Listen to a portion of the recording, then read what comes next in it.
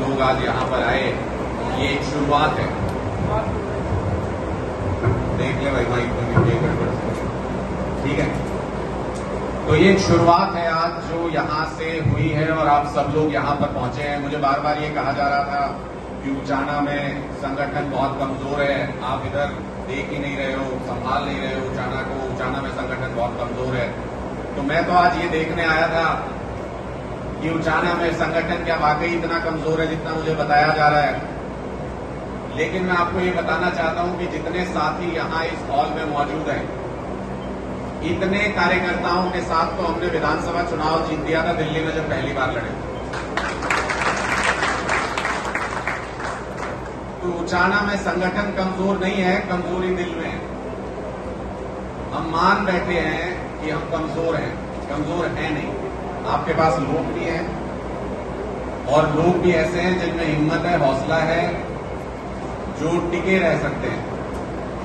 मैं इतनी देर से यही ऑब्ज़र्व कर रहा था कि कितने लोग अपनी सीट से उठे, कितने लोग बाहर गए, कितने लोग अंदर आए लाइट भी गई, खट्टर साहब ने अपनी अटेंडेंस भी यहाँ पे लगाई कि हाँ मैं हूँ।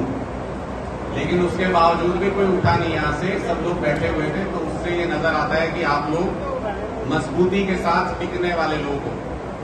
जितने भी ऐसे मजबूती के साथ टिकने वाले लोग हैं, वो एक आदमी एक नहीं होता, वो हज़ार के बराबर होता है। हम यहाँ पे थोड़ी सी आम आदमी पार्टी की नीतियों के बारे में चर्चा करेंगे थोड़ा सा और बात को आगे बढ़ाएँगे, रणनीति क्या होगी, कैसे हम काम करेंगे थोड़ा सा उस पर चर्चा करेंगे। लेकिन मैं हमेशा ये कहता आया हूँ कि ठंडा कार्यकर्ता कभी भी सड़क गर्म नहीं कर सकता, कभी भी चुनौती नहीं दे सकता सरकार को। तो एक बार आप सब लोगों से चाहता हूँ कि एक बार मेरी आवाज़ में आवाज़ मिला के ये बताइएगा कि गर्म खून है। हम गर्म कार्यकर्ता हैं, जोश वाले कार्यकर्ता हैं। और उसके बाद जितना आपका जोश होगा, उसी हिसाब से फिर मैं यहाँ पर बात करूँगा। भारत माता के इतने में तो फिर आधी अधूरी बात रह जाएगी और आपके मन में गिला शिकवा रह जाएगा कि आए भी थे और पूरी बात करके नहीं गए। भारत माता की भारत माता की भारत माता की तो थोड़ा सा मुझे लग रहा है कि जोश है अब इसको कैसे संभाल सकते हैं, कैसे चुनाव जीत सकते हैं, उस पर थोड़ी सी चर्चा यहाँ पर करेंगे। और क्या हमारी पार्टी है, क्यों हमको किसी से शर्माने की, घबराने की ज़रूरत नहीं है। जब हमारे कार्यकर्ता टोपी पहन के गाँव में जाते हैं ना तो बाकी किसी भी पार्टी के कार्यकर्ता जाते हो, उनमें एक चर्चा आम होती है कि यार इस घर में छोड़ दिए, इसकी नौकरी नहीं लगा पाएगा यार काम लेकर आया था, इस घर में छोड़ दिए, यहाँ पे नहीं जा सकते। आते चले ये कहते हैं कि भाई, कोई नहीं जी, कोई नहीं, आवाज़ सुनने लग रही है, मैं देख लिया आप सबने। तो आवाज़ सुन के काम चला लो थोड़ी देर। तो आते लोग दूसरी पार्टियों के कार्यकर्ता जो होते हैं, वो ये कहते हैं कि भाई, इस घर में मत जाइयो। इसने काम बताया था, हम करवा नहीं पाए। भाई, इस घर में मत जाइयो, इसने तो वोट हमारे उस वादे पे दिया था, वो हम पूरा नहीं कर पाए।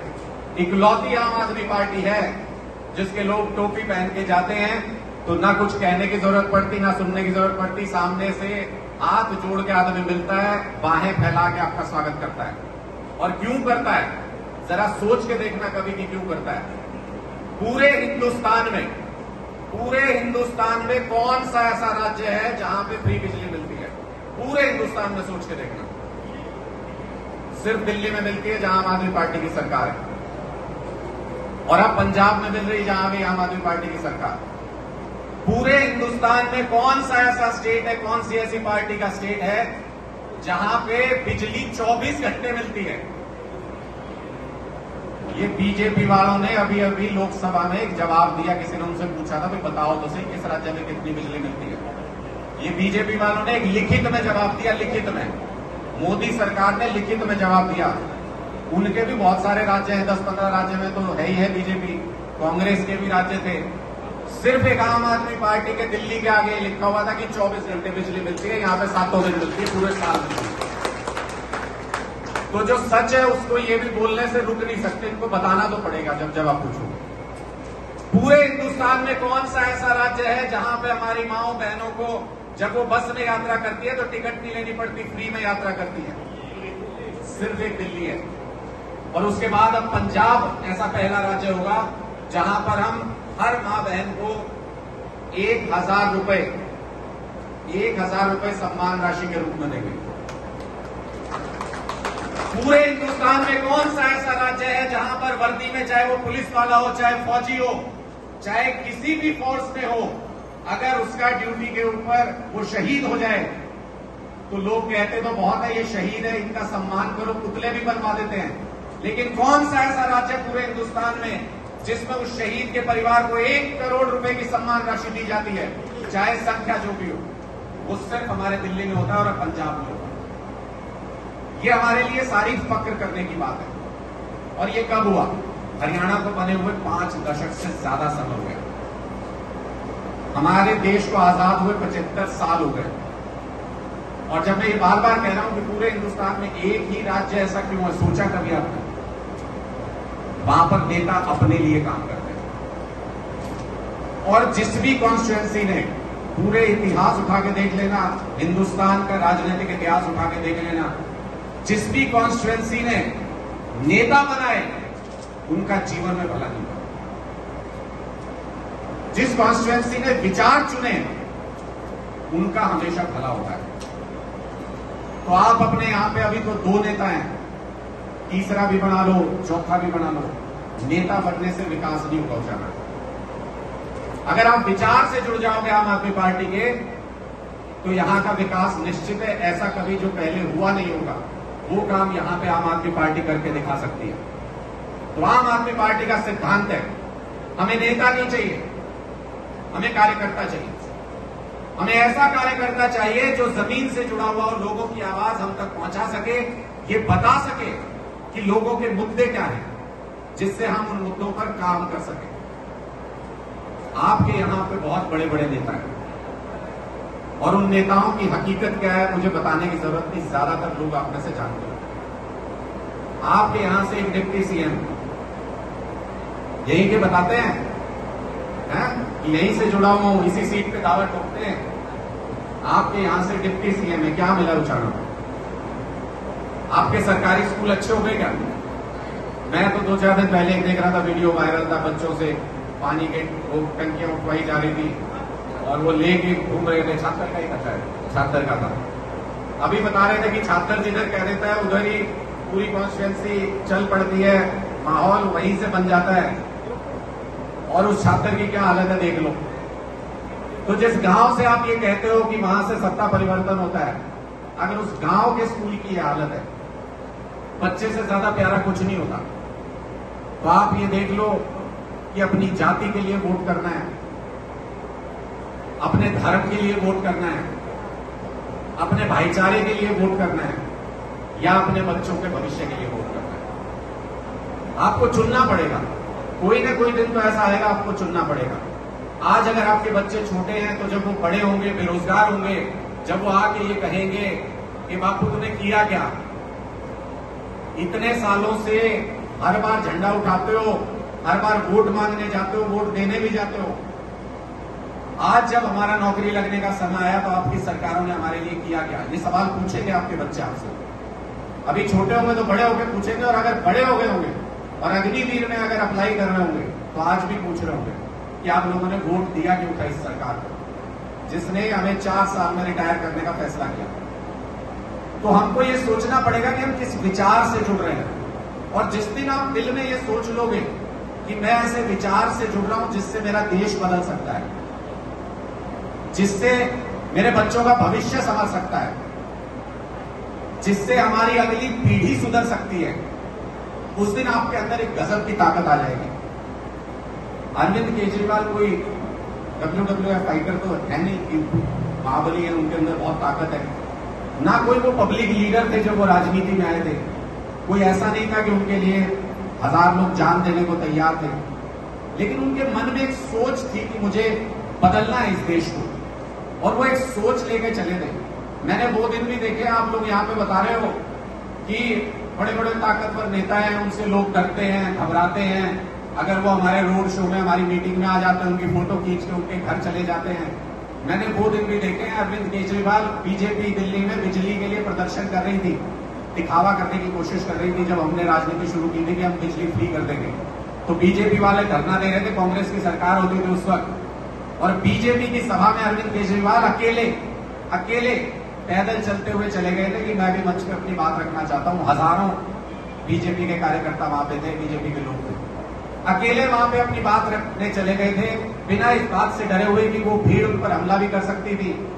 वो नेता भड़का सकते थे लोगों को कि ये हमारी सभा बिगाड़ने के लिए आ रहे हैं। लेकिन मन के अंदर विश्वास इतना था कि मैं जो बात करने जा रहा हूँ, वो सच्ची बात करने जा रहा हूँ। इसलिए अकेले वो गए वहाँ पर और मंच पर भी उनको मौका दिया। ये सोच करके बीजेपी नेताओं ने कि क्या कर लेगा अकेला, सभा तो हमारी, हमारे कार्यकर्ता है। मैं गवाह हूँ सभा का। मैं उस वक्त मीडिया में होता था और हम कवर कर रहे थे उस सभा को। मैं गवाह हूँ सभा का कि बीजेपी के आधे से ज़्यादा लोग तालियाँ बजा करके अरविंद केजरीवाल जिंदाबाद के नारे के साथ वहाँ से गए। तो अगर एक आदमी में भी हौसला है और उसका जमीर सच्चा है, अगर उसकी सोच सही है, लोग तो अपने आप जुड़ जाते हैं। आप एक तरफ़ चलने की कोशिश तो करो, एक बार शुरू तो करो। आप इतने लोग भी अगर एक तरफ़ शुरू कर दोगे और अगर टोपी पहन के शान से निकलना शुरू कर दोगे और ये कह दोगे कि भाई फक्र है मुझे तो मैंने आम आदमी पार्टी ज्वाइन कर ली है। आप देखना, आप जैसे हज़ारों मिलेंगे आपको। और फिर आपको कुछ महीने बाद जब सोचोगे तो फक्र होगा कि मैं पहला आदमी था। मेरे बाद इतने सैकड़ों लोगों ने ज्वाइन कर ली। मेरे पीछे हज़ारों लोग चल पड़े। आपको इस बात का फक्र होगा कि सच्चाई के लिए लड़ने वाले आप पहले इंसान थे। एक डिसिप्लिन बहुत ज़रूरी है पार्टी के अंदर, जिस पर हम बहुत काम कर रहे हैं आजकल। हमारी हमारी नई पार्टी है, हरियाणा में आप देखें तो बहुत सारे हज़ारों की तादाद में लोग जुड़ रहे हैं। डिसिप्लिन को लेके बार बार परेशानी आती है क्योंकि किसी को पता नहीं है कि हमारे सिद्धांत क्या काम कैसे करते हैं। अब जैसे प्रधान जी ने भी यहाँ पे एक सुझाव दे दिया कि भाई जिला परिषद का चुनाव तो टिकट पे लड़ना, पंचायत का उसका मत लड़ना, मैं पार्टी को सुझाव देता हूँ। प्रधान जी सारे टाइम तो बैठे रहते हैं, आप एक फ़ोन करो, कभी आके मिल लो। पार्टी में कोई भी कोई भी सलाह देने का एक ज़रिया होता है। जब आप पब्लिक में डिस्कशन करने लगते हैं तो फिर वो चर्चा का विषय बन जाता है। हर आदमी की अपनी समझ होती है, हर आदमी की अपनी सोच होती है, वो उसी तरीके से फिर उसको, उस नज़रिए से देखने लगता है। हमको आपस में बहस नहीं करनी है, हमको लड़ना नहीं है। इतने सारे फैसले मैंने आम आदमी पार्टी के बताए बताया कम से कम आपको ये तो विश्वास होगा कि हम में से कोई भी अपने लिए काम नहीं करता। हम में से कोई भी अपने लिए राजनीति नहीं कर रहा। किसी को नेता नहीं बनना। हमको बस सरकार बदलनी है। हमको बस विचार बदलना है, हमको ये व्यवस्था बदलनी है पूरी की पूरी। तो इसलिए ईमानदारी से काम करते हैं, इतना भरोसा तो होना चाहिए। इतना भरोसा होना चाहिए, अरविंद केजरीवाल जी की सरकार के 50 विधायकों पर बीजेपी कुछ न कुछ कारण से किसी न किसी बहाने से केस दर्ज कर सके दिल्ली में। मोदी जी की नाक के नीचे। दिल्ली पुलिस उनकी, सीबीआई उनकी, ईडी उनका। 50 विधायकों के खिलाफ आज तक केस दर्ज कर चुके हैं। सिर्फ़ दो मामले कोर्ट में चल रहे हैं। फैसला नहीं हुआ अभी। दो मामले कोर्ट में चल रहे हैं, अड़तालीस लोग बाइज्जत बरी हुए बाइज्जत बरी हुए इसका मतलब उंगली रखने जितनी भी बेईमानी की जगह नहीं है पार्टी। हमारे यहाँ से अभी, ये तो ताज़ा ताज़ा उदाहरण है, आपको बता रहा हूँ। मैं आपको ये सब बातें इसलिए बता रहा हूँ कि यहाँ पे मुझे बताया गया कि भाई, बड़े नेताओं का डर है मैं आपको ये बात इसलिए बता रहा हूँ अभी नगर निकाय के चुनाव में तीन चार जगह ऐसी थी जहाँ कहीं हमको 20 वोट से हरा दिया, कहीं 40 वोट से हरा दिया, कहीं 70 वोट से हरा दिया, और वो वो भी वहाँ पे ऐसी जगह हरा दिया जहाँ से पहले ये कहा कि आप जीत गए हो पचास वोट से। अंदर जाके सर्टिफिकेट लेने गए तो बोले, जी, सत्तर से हार गए। कोई बात कोई बात नहीं, नगर निकाय के चुनाव में हराई तो दिया, हौसले थोड़ी तोड़ दिए एक सीट आई हमारी। पूरे हरियाणा में हमारी एक सीट आई, इस्माइलाबाद। एक सीट में हमारी चेयरमैन बन गई कल शपथ करा के आए उनकी, कल मांगे हुए। और कोई पार्टी, कोई नेता ऐसा नहीं है जिसमें इतना दम हो जिसमें इतना जिगरा हो। चैलेंज देके, दस दिन, पंद्रह दिन पहले से इंटरव्यू में खुलेआम बोल रहा हूँ। कांग्रेस ने सिंबल ही नहीं दिया, डर गए थे वो तो। उन्होंने तो चुनाव नहीं लड़ा। फिर भी असंत से उनका एक कार्यकर्ता था। वो जीत गया मन चेयरमैन का चुनाव जीत गया असंत से। भाई साहब अड़तालीस घंटे भी नहीं बीते बीजेपी में चला गया। अड़तालीस घंटे के अंदर बीजेपी में चला गया। तो मतलब मेरे वोट से धोखा हो गया। मैंने तो बीजेपी को वोट देना होता तो बीजेपी को दे दिया होता। हमें नहीं देना था, फिर भी वो बीजेपी में चला गया। ये धोखा है पब्लिक के साथ। हमारी एक चेयरमैन कैंडिडेट जीती। उसके खिलाफ कंप्लेंट करी। संदीप सिंह वहाँ मंत्री धमकी दी, लालच दिया, सब कुछ दिया। मैं पंद्रह दिन पहले से शपथ तो कल हुई है। मैं पंद्रह दिन पहले से इंटरव्यू में स्टेज से खुलेआम बोल रहा हूँ। चुनौती है बीजेपी को, कांग्रेस को, हमने खुलेआम बोला। मैंने कहा, ना आप उसको खरीद सकते, ना आप उसको डरा सकते, ना आप उसको मजबूर कर सकते कि वो आपकी पार्टी ज्वाइन कर ले। सिर्फ़ एक कैंडिडेट हमारी जीती सरकार उनके पास कुछ भी कर सकते थे। लेकिन वो तोड़ नहीं पाए। हमारी चेयरमैन ने हमारी टोपी, हमारा झंडा उठा करके शपथ ली चेयरमैन की। और वो एक नगर निकाय, आप सब गवाह बनेंगे इस बात के, वो एक नगर निकाय जो है, वो पूरे हरियाणा में उदाहरण बनेगा एग्ज़ाम्पल बनेगा। वहाँ का एक एक काम पूरा हरियाणा देखेगा कि हमें अगर छोटा सा भी मौका आप देंगे तो हम उसको किस तरीके से, उसको बेहतर काम में बदल सकते हैं। मुझे बताया कि पिछहत्तर सीटों की बात हो रही है बीजेपी पिछली बार पचहत्तर का नारा देके ये सब डरे ये सब ढकोसले हैं। हम तो इनको देख चुके ये सब ढकोसले हैं। बोलते हैं जी, इनका पन्ना प्रमुख है जी। हर पन्ने पे इनका एक आदमी है। वोटर लिस्ट के हर पन्ने पे इनका एक वर्कर होता है। ढकोसले झूठ है। हमने तो देखा है। आप किसी दिन इनसे बोलना कि वो पन्ना प्रमुख की लिस्ट दे दे नंबर के साथ और फ़ोन करके देख लेना, पता चल जाएगा कितने पन्ना प्रमुख है और कितने नहीं है। ये सिर्फ़ डराने के लिए। कभी बोलेंगे पचहत्तर सीट जीत जाएँगे। कभी बोलेंगे हमारे पन्ना प्रमुख हैं। ये सिर्फ़ आप में डर बिठाते हैं। ये सिर्फ़ झूठा डर बिठाते हैं आपके अंदर, ऐसा कुछ नहीं है। सबसे मज़बूत कार्यकर्ता और सबसे मज़बूत पार्टी, जहाँ पर भी हम चले जाते हैं, वहाँ आम आदमी पार्टी होती है। इस बात का हमको कोई जवाब देने की ज़रूरत नहीं है। और ऐसे उदाहरण हमने बार बार पेश किए जब पहली बार हम लोग लड़े थे ना, अट्ठाईस सीटें हमारी आई थी, बत्तीस सीटें बीजेपी की थी। पैंतीस चाहिए होते हैं दिल्ली में सरकार बनाने के लिए। तो यानी छत्तीस अगर उनके पास हो जाते तो सरकार बन जाती बीजेपी की। सिर्फ़ चार एमएलए चाहिए थे उनको, सिर्फ़ चार एमएलए जो आज गोवा में दस ग्यारह तोड़ते घूम रहे हैं, महाराष्ट्र में पचास तोड़ के सरकार बना दी, पता नहीं किस किस राज्य में कांग्रेस के तो कितने कितने एमएलए चले गए, कांग्रेस के तो सारे ही विधायक चले गए जब अपना राज्यसभा उम्मीदवार नहीं जितवा पाए तो। वो तो सारे ही पीटे हुए समझ लो उनको तो। सिर्फ़ चार एमएलए चाहिए थे। एक साल तक प्रेसिडेंट रूल लगा के रखा राष्ट्रपति शासन। चार एमएलए ही पाए तो अगर ऐसा कमिटमेंट हो ऐसा जज्बा हो हम तो ये कहते हैं कि भीड़ नहीं चाहिए हमको। अगर इतने कार्यकर्ता है मेरे पास और वो पक्के हैं, इस जज्बे वाले हैं कि हम बिक नहीं सकते, हमको कोई झुका नहीं सकता, हमको कोई खरीद नहीं सकता, हम उन्हीं से जीत जाएँगे, क्योंकि लोग तो वोट देना चाहते हैं। लोग वोट देना चाहते हैं, बस हमको उस वोट को लेना है। हमको बस उस वोट को लेना आना चाहिए। हमको बस समझाना है। बीजेपी पिछला चुनाव भी नहीं जीती थी।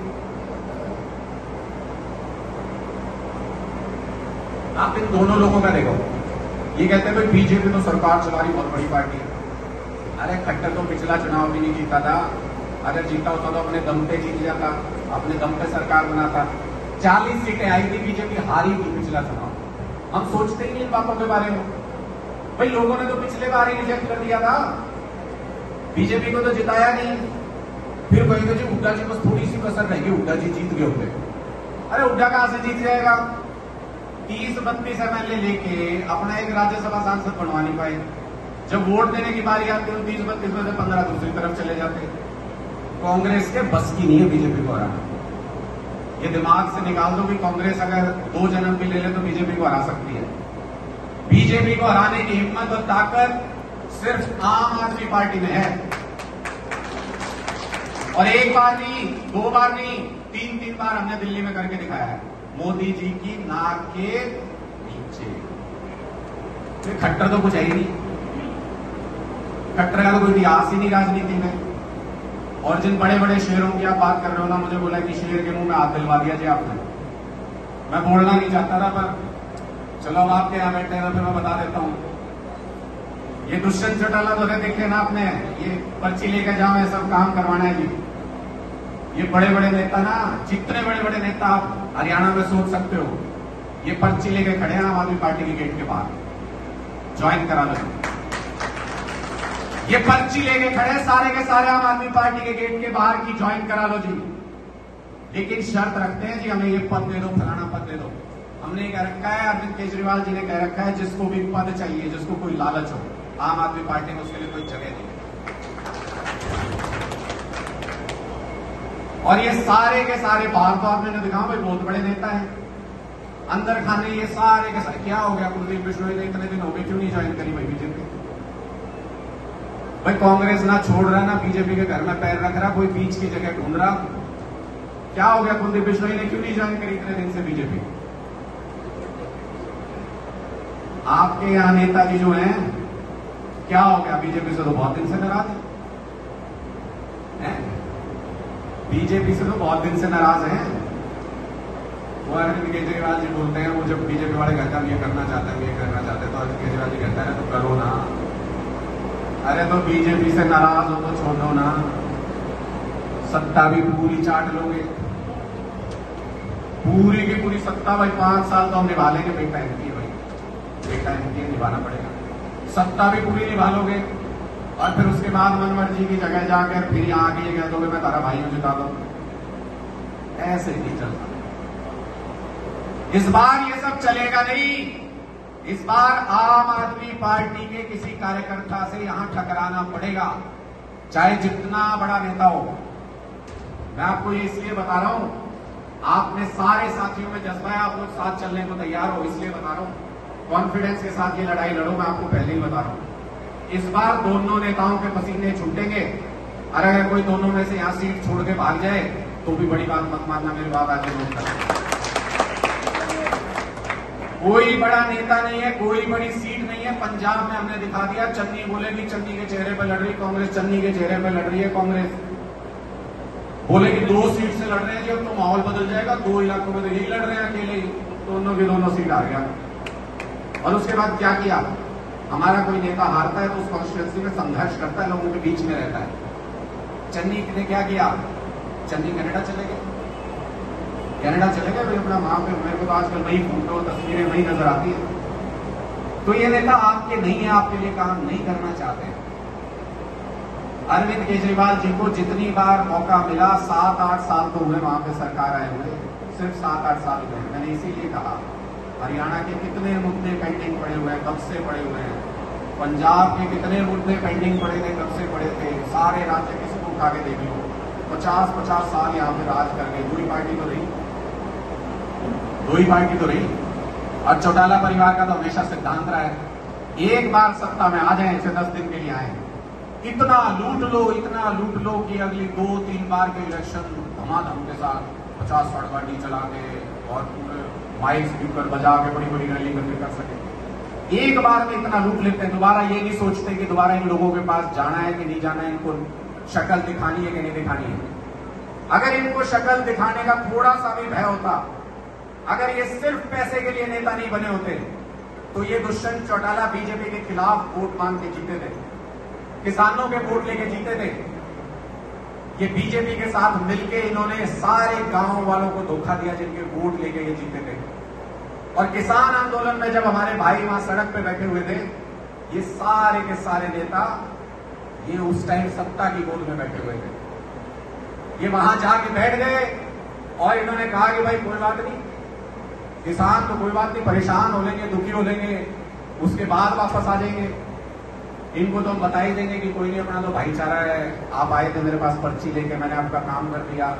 अरे ना करने दो काम यार, क्या बिगड़ जाएगा? दो साल में ऐसा कौन सा काम कर देंगे? अगर आपके बच्चे की एक नौकरी नहीं भी लगी दो साल के अंदर तो क्या हो जाएगा? दो साल बाद आम आदमी पार्टी की सरकार आ रही है। पंजाब के अंदर सरकार आते ही महीने भर के अंदर पचास हज़ार नौकरी निकाल दी हमने। दिल्ली के अंदर हमने 10 लाख नौकरी दी अगले पाँच साल में हमारा टारगेट है कि 20 लाख बच्चों को रोज़गार देंगे। ये एक दो साल का संघर्ष है, झुकना मत इसमें। कॉम्प्रोमाइज मत करना। हम लोग हमेशा ये करते आए हैं, हर बार, अरे कोई बात नहीं, इस बार को देख लेते हैं।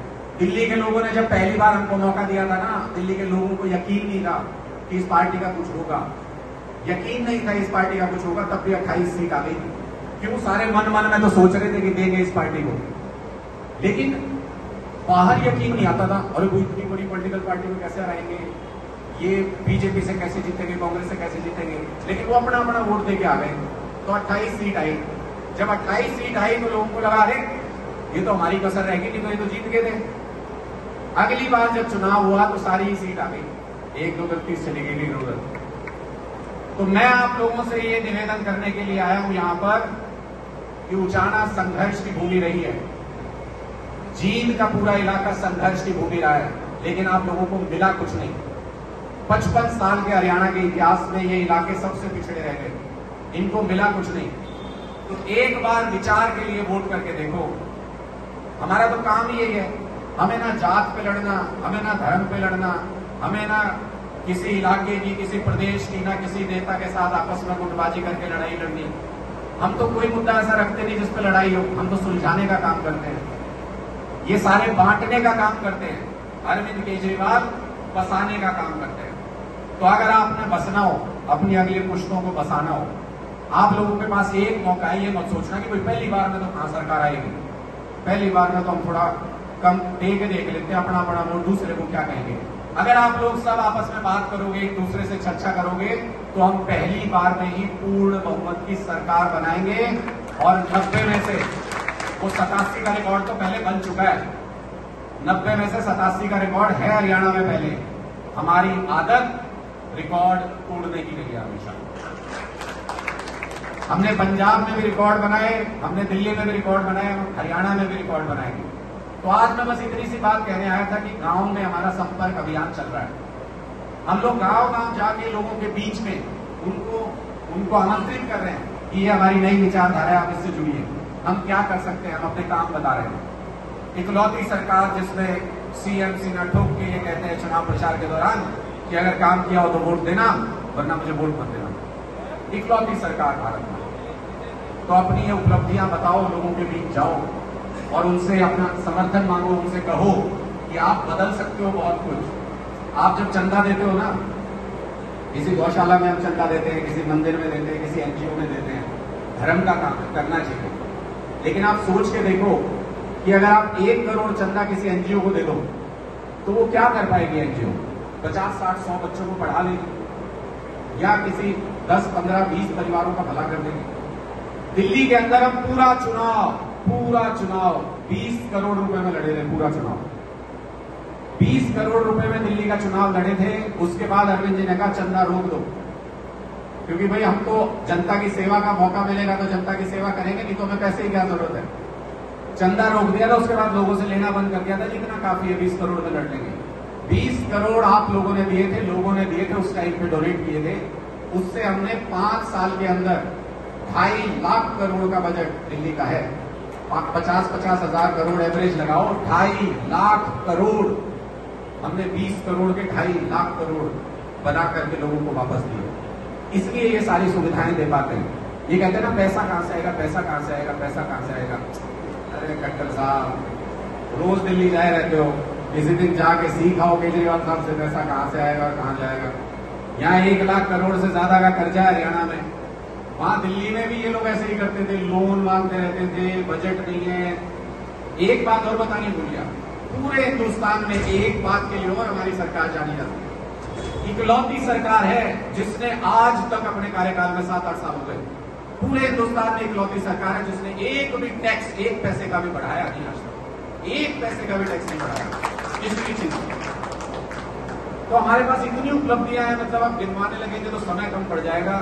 मेरा कहना ये उनसे सब वाकिफ भी है, उन सब उपलब्धियों से बस लोगों को बताओ, उनसे उनका साथ मांगो। ग्राम संपर्क अभियान चल रहा है मेरी, आप सबसे निवेदन ये है कि अगर आप एक कार्यकर्ता के रूप में काम करना चाहते हैं, इस बदलाव में, इस आंदोलन में अपना हिस्सा देना चाहते हैं तो प्रधान जी के साथ संपर्क में आके और ग्राम संपर्क अभियान चल रहा है दो दो चार चार लोग एक एक गाँव में जाते हैं। कोई गाँव ऐसा नहीं छोड़ेंगे अगले छह महीने के अंदर।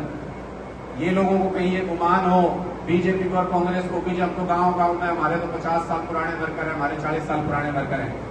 आम आदमी पार्टी का वर्कर, आम आदमी पार्टी का झंडा उठाने वाले कार्यकर्ता, बहत्तर सौ के बहत्तर सौ गाँव में होंगे, हरियाणा के अंदर छह महीने के अंदर हम ये वादा करते हैं और अरविंद केजरीवाल जी से वादा किया उसमें आप महत्वपूर्ण भूमिका निभा सकते हो, आप लोग गाँव गाँव जा सकते हो, सब लोगों को जोड़ सकते हो। एक छोटी छोटी टीम अपनी चार चार जनों की बनाओ एक एक गाँव में जाओ उचाना के सारे गाँव तो मेरे ख्याल से जितने साथी यहाँ बैठे आप पूछ रहे थे ना तो इतने से क्या करेंगे? इतने से ये कर सकते हैं कि अगर आपने सारे गाँव एक महीने के अंदर नाप दिए तो ये संख्या आपकी पाँच गुना, दस गुना हो जाएगी, इस बात की मैं गारंटी देता हूँ। गाँव में लोग बैठे हुए इंतज़ार कर रहे हैं, आप जा नहीं रहे उनके पास। तो आपने गाँव में जाना है, उन सब लोगों से मिलना है, उनको ये कहना है कि हम सड़क पे आ गए, आपको भी आना पड़ेगा। तब जाके सत्ता परिवर्तन होगा। ये कांग्रेस अपने नेताओं के लिए रोज प्रदर्शन करती है कि आज सोनिया जी को बुला लिया पूछताछ के लिए। वहाँ पे प्रदर्शन, आज राहुल गांधी को बुला लिया, वहाँ पे प्रदर्शन। आम आदमी पार्टी अपने नेताओं के लिए प्रदर्शन नहीं करती, जब करती है, जनता के मुद्दों पर करती है। हमारे नेता अंदर है इतने दिनों से, जिसमें कि आज तक अभियुक्त नहीं बने, सत्येंद्र जैन। मतलब आप ये कमाल देखो कि किसी केस में अभी तक सत्येंद्र जैन अभियुक्त नहीं बने। लेकिन फिर भी कितने दिनों से अंदर है? महीना डेढ़ महीने से अंदर है। आप इस बात का अंदाज़ा लगाओ, कभी आपने सुना कि सत्येंद्र जैन के लिए ईडी के बाहर, जेल के बाहर आम आदमी पार्टी के कार्यकर्ता जाके बैठे? आम आदमी पार्टी का कार्यकर्ता जनता के मुद्दों पर संघर्ष कर रहा है। सत्येंद्र जैन जी के लिए हम लीगल पेपर लड़ रहे हैं। कानूनी लड़ाई लड़ रहे हैं। बढ़िया से बढ़िया वकील उनके लिए हायर कर रहे हैं। बढ़िया से बढ़िया वकील उनका केस लड़ रहे हैं। क्योंकि हमें पता है ये दमनकारी सरकार है, ये तो चाहती है कि हम मुद्दों से भटक जाएँ, हम अपने नेताओं के लिए संघर्ष करने लगे और फिर मुद्दों की बात कौन करेगा? कोई नहीं करेगा। फिर अगली बार फिर आके समझा देंगे, हिंदू, मुस्लिम, फलानी जा, ये जा, वो जा। जाति, धर्म, ये सब निजी मामले हो गए। आपके अपने मानने की चीज़ें अपने व्यवहार में लाओ। अपने परिवार में उसके बारे में चर्चा करो। हमारे धर्म में क्या अच्छी बातें उनकी चर्चा परिवार में करो, हमारी जाति में क्या परंपराएँ चली आ रही अपने परिवार में उसकी चर्चा करो, अपने संबंधियों में करो। लेकिन राजनीति में जाति धर्म का कोई काम नहीं है। ये लोग बेवकूफ़ बनाते रहे आपको आज तक। कि आपके धर्म का आदमी बन जाएगा पता नहीं क्या कर देगा। क्या कर दिया? मैं वही तो पूछ रहा हूँ, पचपन साल हो गए आपकी जात का आदमी आ जाएगा तो पता नहीं क्या कर देगा। अरे, किया क्या? पचपन साल हो गए। हर आदमी इस नाम पे वोट मांगकर आपको बेवकूफ़ बनाता है। चौधर आ जाएँगे, अपनी जात की चौधर आ जाएँगे, अपनी जात की चौधर रखते चौधर का के धार काटेंगे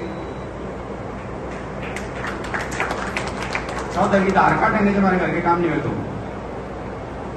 तो हमको ये बातें सोचनी है, आप आपस में भी विमर्श करोगे, आपस में सोचोगे, यही निष्कर्ष निकलेगा जो बातें मैंने बताई। अगर आप आपस में चर्चा करोगे तो आम आदमी पार्टी के बारे में यही चर्चा करोगे और कुछ चर्चा करने को है नहीं हमारे बारे में। हमारे बारे में बस इतना है कि सरकार लाओ तो पूरे बहुमत से ठोक के लाना दूसरी बार हम वोट मांगने नहीं आते किसी के पास। ये कह के कि हमें वोट दे दो, हम तो फलाने नेता हैं ये दूसरी बार हम ये कह के वोट मांगने आएँगे कि अगर हमने काम किया हो तो वोट देना, वरना वोट मत देना।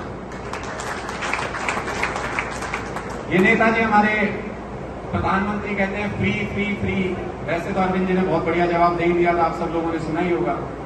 ये जब मंत्री संतरी लेते हैं जब ये मंत्री एमपी जब ये इतनी सुविधाएँ लेते हैं, सारी बिजली फ्री, सब कुछ फ्री, तब इनके पेट में दर्द नहीं होता। हमें 200 यूनिट फ्री मिल गई तो इनके पेट में दर्द हो गया। और इतना दर्द हो गया, वो फकीर बताते थे, अपने आप को जोड़ा उठा के, चल दूँगा, कहते थे।